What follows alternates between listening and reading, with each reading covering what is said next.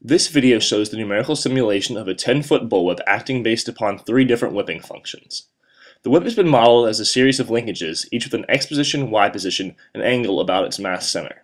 The linkages are connected by translational and torsional springs.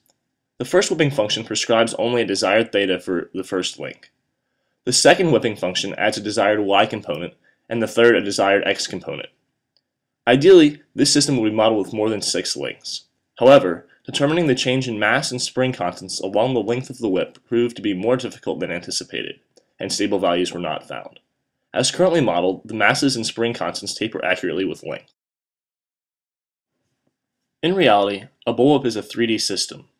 The end of the whip coils upon itself, leading to the crack which propels it forward at supersonic speeds. As it is this non-planar motion that causes the specific behavior of the whip, contact conditions have been neglected to retain the accuracy of the simulation. At this speed, it is easy to see the highly elastic behavior of the whip. If you watch closely, after the whip coils, the lightest link, representing the tip, flies away from the rest of the whip, indicative of the crack.